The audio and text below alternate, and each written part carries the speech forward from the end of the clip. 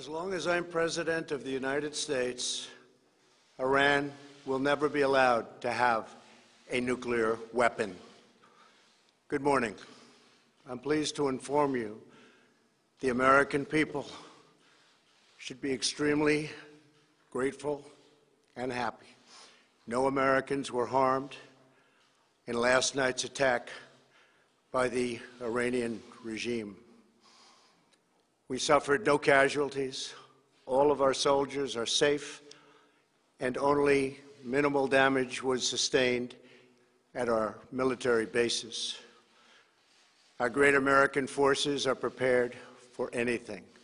Iran appears to be standing down, which is a good thing for all parties concerned and a very good thing for the world. No American or Iraqi lives were lost because of the precautions taken, the dispersal of forces, and an early warning system that worked very well. I salute the incredible skill and courage of America's men and women in uniform. For far too long, all the way back to 1979 to be exact, nations have tolerated Iran's destructive and destabilizing behavior in the Middle East and beyond. Those days are over. Iran has been the leading sponsor of terrorism and their pursuit of nuclear weapons threatens the civilized world. We will never let that happen. Last week, we took decisive action to stop a ruthless terrorist from threatening American lives. At my direction, the United States military eliminated the world's top terrorist, Qasem Soleimani. As the head of the Quds Force, Soleimani was personally responsible for some of the absolutely worst atrocities. He trained terrorist armies, including Hezbollah, launching terrorist strikes against civilian targets. He fueled bloody civil wars all across the region. He viciously wounded and murdered thousands of U.S. troops, including the planting of roadside bombs that maim and dismember their victims. Soleimani directed the recent attacks on U.S. personnel in Iraq that badly wounded four service members and killed one American, and he orchestrated the violent assault on the U.S. Embassy in Baghdad. In recent days, he was planning new attacks on American targets, but we stopped him. Soleimani's hands were drenched in both American and Iranian blood.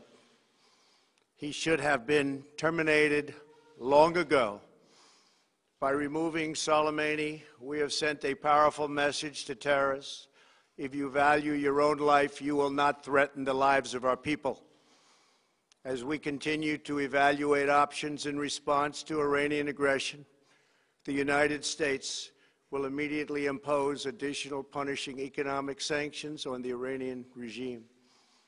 These powerful sanctions will remain until Iran changes its behavior.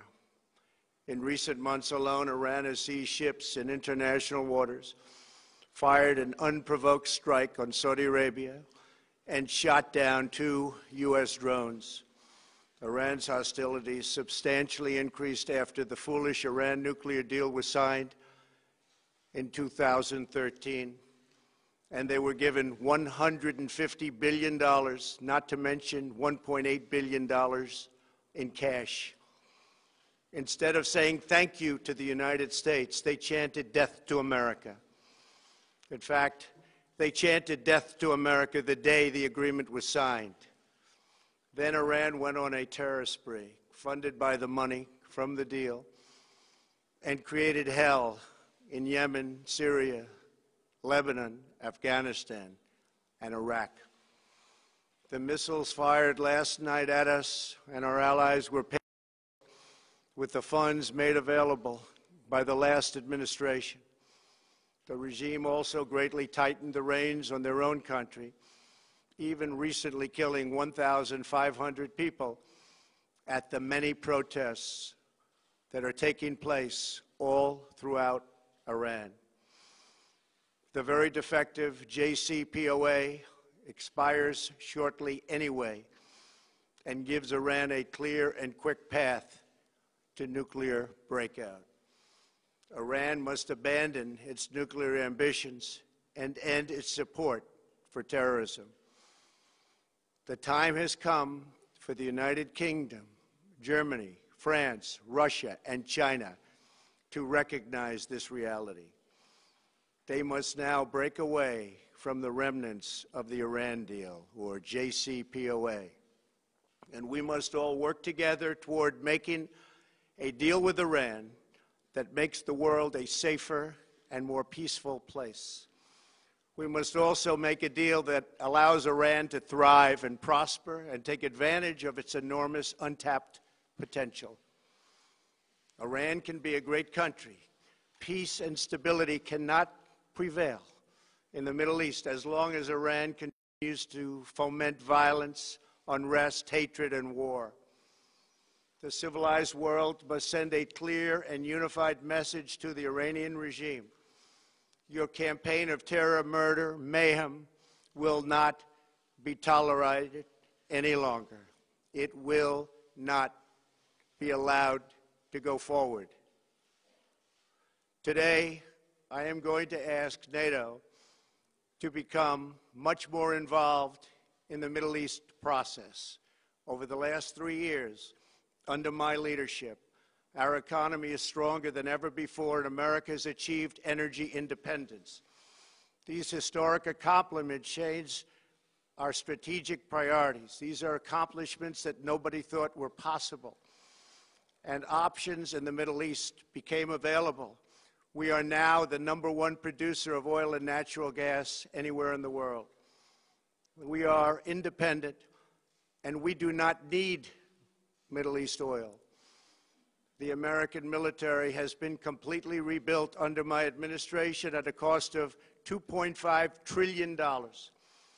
U.S. armed forces are stronger than ever before. Our missiles are big, powerful, accurate, lethal, and fast. Under construction are many hypersonic missiles. The fact that we have this great military and equipment, however, does not mean we have to use it. We do not want to use it. American strength, both military and economic, is the best deterrent. Three months ago, after destroying 100% of ISIS and its territorial caliphate, we killed the savage leader of ISIS, al Baghdadi who was responsible for so much death, including the mass beheadings of Christians, Muslims, and all who stood in his way. He was a monster. Al Baghdadi was trying again to rebuild the ISIS caliphate and failed. Tens of thousands of ISIS fighters have been killed or captured during my administration. ISIS is a natural enemy of Iran the destruction of ISIS is good for Iran, and we should work together on this and other shared priorities. Finally, to the people and leaders of Iran, we want you to have a future and a great future, one that you deserve, one of prosperity at home and harmony with the nations of the world. The United States is ready to embrace peace with all who seek it. I want to thank you and God bless America. Thank you very much. Thank you. Thank you. Mr. President, all be well.